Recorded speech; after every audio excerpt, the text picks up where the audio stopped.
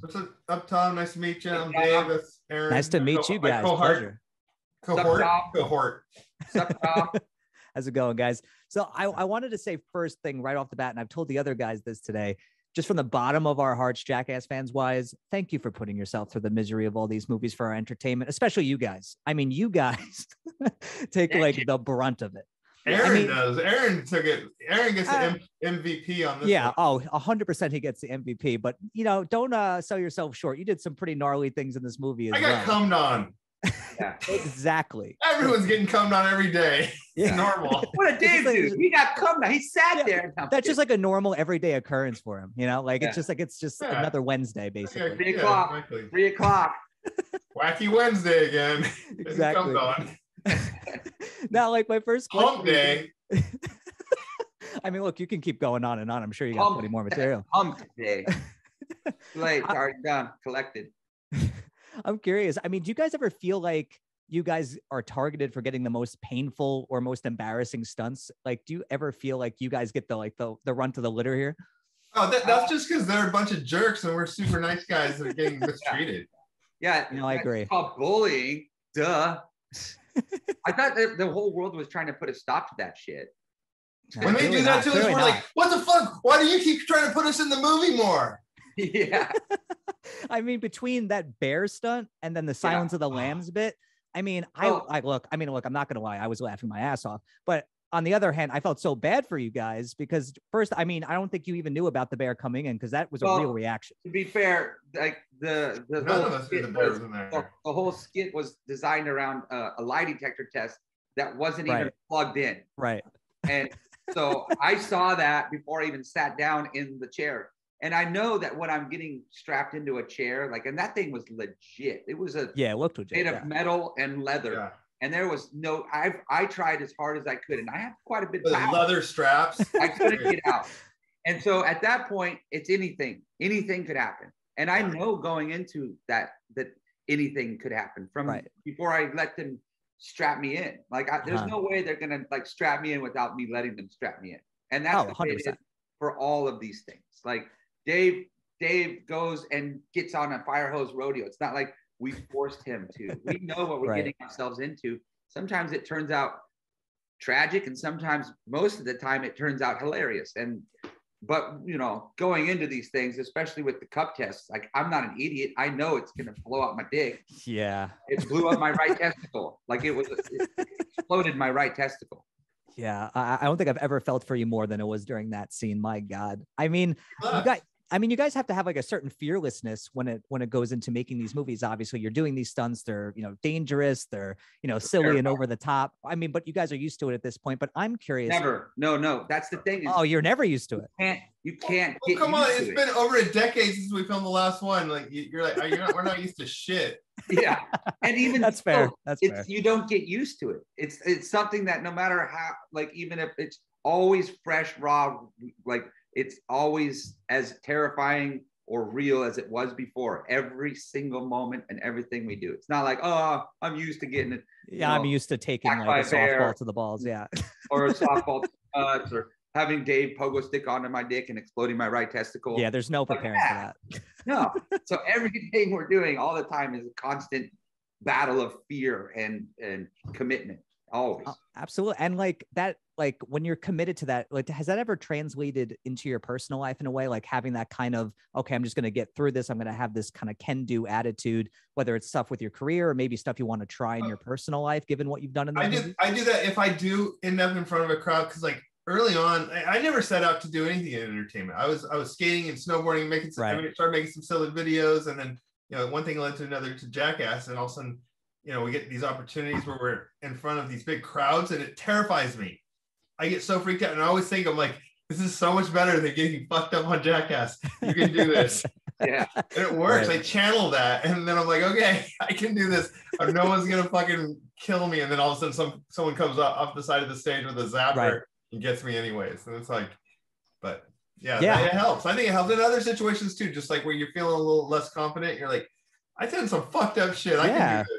Exactly and I like if I, you're always going, if you're always doing what you know, in theory, if you're a good person and being good to yourself and those people around you, you can get through anything. And having experienced these things that are gnarly and crazy for the mind to comprehend, Mhm. uh, it really allows you to live by that mantra of just be good, you know, and Mhm. we've been through the bad a lot, and a lot of people have. And I think the key of all of this was just that we want to entertain people and make people Mhm. laugh. So if it takes, you know, getting pogo stick by Dave on my dick, blowing out my testicle, like I said, it's uh, it's worth get it done. because Yeah. the world is laughing, and that's awesome. Mhm. I, I we're we're we're blessed, and we're, we're it's a great honor to be able to have an audience to that can uh, watch what we do and be entertained by. it. So we always I- got to do the best we can. Yeah, and, and I honestly think this is the funniest one yet. I mean, I feel like your commitment, everyone's commitment, bar none, old cast, new cast, everyone is just firing on all cylinders. And what I love about this, Steve said in one of his podcasts that he felt like every movie is kind of this like different animal, and that the second movie kind of was like the the gnarliest out of all of them. Like, do you guys feel like each movie is their own separate thing, or do you feel like they're part of like one cohesive whole? We Man said it was like Uh, putting out a different album. You know what it was is the first movie we made. None of us had ever made a movie, and so we're like, "Oh, what are we doing here? Whoa, whoa!" And then when it came out, we're like, "Wow, we should have taken it farther." You're like, "We're wow, there's a real." You're in a theater watching it. You're like, "That's when you see how big this is." And then when that fueled us for Jackass Two, we're like, Mhm. balls to the wall here. You- Yeah. We, we all our regrets. but We got to retake. We get a reach a chance to redeem ourselves, basically. So we Mhm. went hard on two.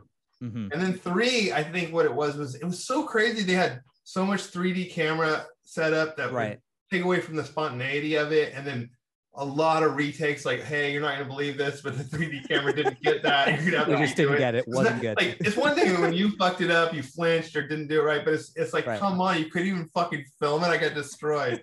Yeah, like so there was that. to- It still turned out good. I'm not talking shit too much about that movie, but then Oh, this one it was just a, such a huge stretch of time. We had so much time to write stuff and to think about how we wanted to do it that it really. That's why I think you're like what you're saying. We're firing on all eight cylinders.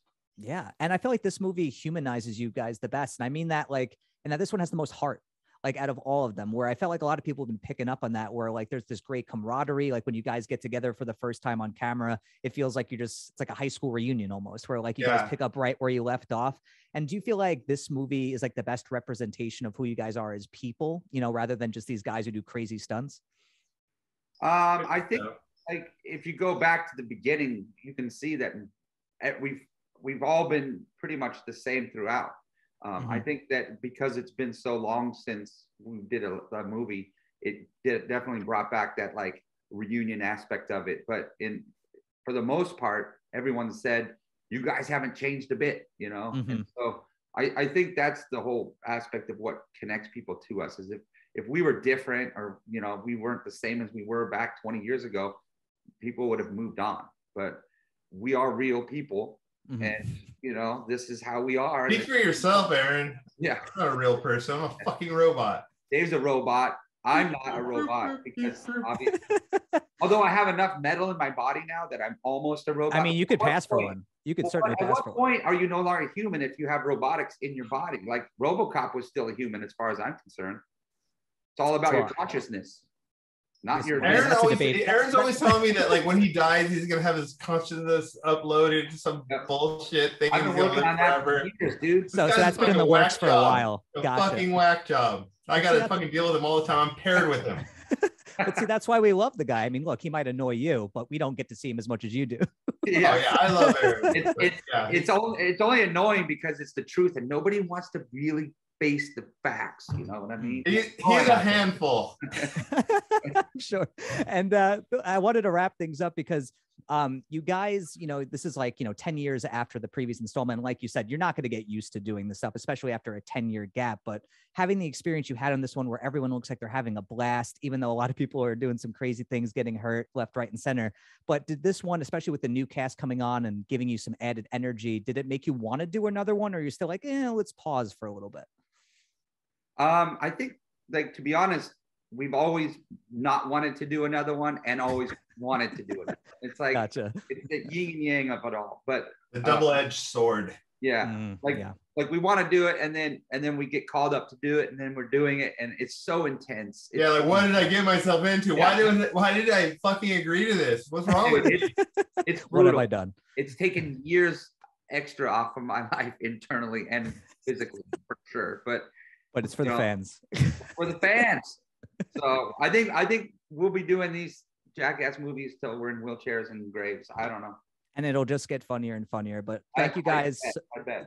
Just thank you guys so much for taking Hey, the time uh, today. remember, Tell uh, tell them, Ehren, tell them. March Tell 'em. 29th, we have uh it's a digital release, right, Dave? It's not a streaming. Digital it's streaming. No, it's It's different. all digital. Digital. platforms. March 29th, Jackass Forever. And then April 19th, we have uh, Blu-ray and DVD release with 40 minutes of extra footage that was not seen anywhere else. It'll only be seen on the DVD and Blu-ray. So check it And, out. and and digital also. The digital purchase will get you the 40 minutes bonus also. What? I swear to freaking God. It's like you guys rehearsed this or something. First time ever. And that's not it. Well, you- all, you guys- Tom. if you you, act know- now, you will also receive. Where is it? I don't have it. I, it's out of the box. It escaped. It escaped. God oh, damn, no. You blew it. You blew it. Brontosaurus. You blew Where did he go? There he is. Dave's gone MIA. There it is. I never even got one. I need to get one of those. Well, now people got to get that. but, but guys, thank you so much. Oh, no, I'm he's going frozen, for a mouth. Oh, no. This is this is Chris Pontius and this is me. Aw. All right, Tom. Thanks for having me. Oh, us. sorry, Tom. Later. No, no, it's it's totally fine. It was a pleasure talking to you guys. Have an amazing rest of your day. Really appreciate Chew. it. Thanks.